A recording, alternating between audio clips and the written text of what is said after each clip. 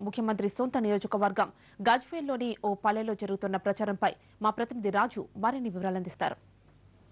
Medak parliament ఉప ఎన్నికకు ఈ సాయంత్రంతో ప్రచారానికి తెరపడనుంది. ఈ నేపథ్యంలో పార్టీలన్నీ కూడా ఇదే చివరి రోజు కావడం దాంతో అన్ని గ్రామాలు మూలనున్న గ్రామాలకు సైతం వెళ్ళి తమ పార్టీ అభ్యర్థులను గెలిపించుకునేందుకు ప్రయత్నం చేస్తున్నారు.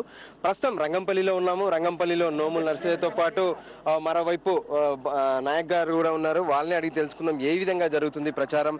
మీ పార్టీ అభ్యర్థికి సంబంధించి ఏ విధంగా ఇప్పటివరకు ప్రచారం చేశారు? గజ్వెల్లి నియోజకవర్గం మొట్టమొదటిసారిగా తెలంగాణ రాష్ట్రాన్ని ఏలడానికి కేసీఆర్కి అవకాశం ఇచ్చినటువంటి గొప్ప తల్లి. తెలంగాణ మూమెంటు సృష్టి అంతా ఇక్కడే జరిగింది.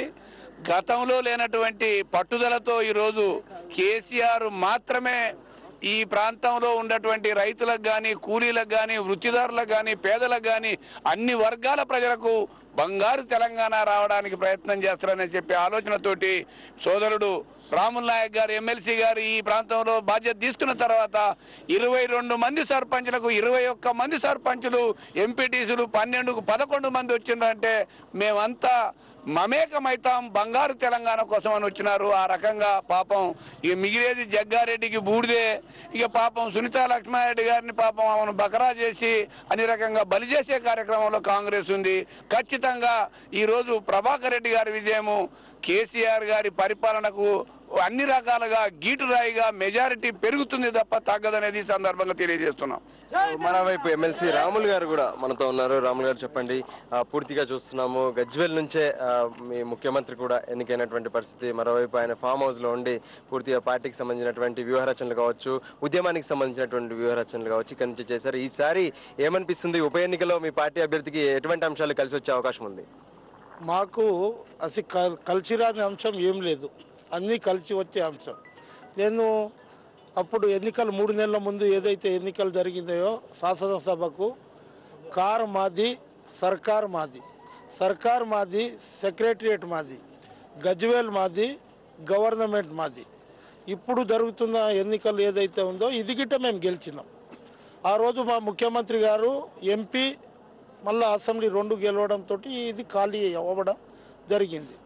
కానీ ఇవాళ ప్రజలు ఏమంటున్నారంటే మెదక్ మాది మెదక్ మెంబర్ ఆఫ్ పార్లమెంట్ మాది. ఈ విషయంలో ఎటువంటి ఇది లేదు. ఇవాళ వంద రెండు రోజులలో చేసిన పని వీళ్ళు ముప్పై నలభై సంవత్సరాలలో కాంగ్రెస్ పార్టీ చేయలేదు. ఇవాళ అనేక కార్యక్రమాలు ఏదైతే ఉన్నాయో ఈ ఎన్నికల కోడ్ ఉందని ఇది అయితే లక్ష రూపాయల రుణమాఫీ ఏదైతే ఉందో అది ఇవాళటి వరకు మన గ్రామ పంచాయతీ ఆఫీసుల మీద రైతులు అప్పు తీసుకున్న వారి లిస్టు పడిపోతుండే.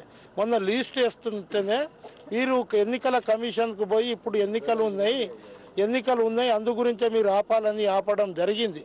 కానీ కాంగ్రెస్ ప్రభుత్వము ఇవాళ అటువంటి కార్యక్రమాలు చేస్తుంది.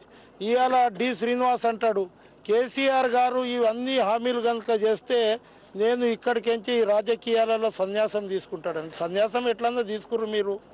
ప్రజల ఓటింగ్లో ప్రజలు ఎప్పుడైతే వీళ్ళని తిరస్కరించారో మూడు నెలల ముందే మీ సేవలు వద్దు అంటే దొడ్డిదారిన ఎమ్మెల్యేసీకి వచ్చిండు. ఈ విధంగా ఇవాళ తెలుగుదేశం పార్టీ తొమ్మిది సంవత్సరాలు చంద్రబాబు నాయుడు పరిపాలన చేసిండు. వ్యవసాయమే దండుగా అన్నాడు. కరెంటుకు ద- అడిగితే రైతులు పోయి కరెంట్ అడిగితే రైతులను పిట్టలను కాల్చినట్లు కాల్చిండు. వ్యవసాయమే దండుగా అని చెప్పడం జరిగింది. రైతులు ఆత్మహత్య ఆత్మహత్యలు చేసుకుంటారని ఆ రోజులలో మా నోముల నరసింహయ్య అసెంబ్లీలో ఇది చేస్తే లక్ష రూపాయలు మేము నష్టపరిహారం ఇస్తున్నాం కదా అందు గురించే చనిపోతురని హేళన చేసి మాట్లాడిన మంత్రి వీళ్ళిద్దరూ ఇవాళ ఈ పార్టీకి నైతిక హక్కు లేదు. పోయినసారి మేము నాలుగున్నర లక్షలతోటి గెలిచినాం. ఈసారి ఇంకా మెజారిటీ ఎక్కువ రావాలి. మొత్తానికి స్పష్టంగా కనిపిస్తుంది. ప్రతి ఒక్క నాయకులు కూడా టీఆర్ఎస్కు సంబంధించిన నాయకులందరూ కూడా మిగతా జిల్లాల నుంచి సైతం ఇక్కడికి వచ్చి ప్రచారం చేస్తున్నారు. ఖచ్చితంగా తమ అభ్యర్థి గతంలో వచ్చినటువంటి మెజార్టీల కంటే ఎక్కువ మెజార్టీతో ఇక్కడ నుంచి గెలుపొందుతారని చెప్తున్నారు. కెమెరా పర్సన్ సుదర్శన్తో రాజు ఎన్టీవీ.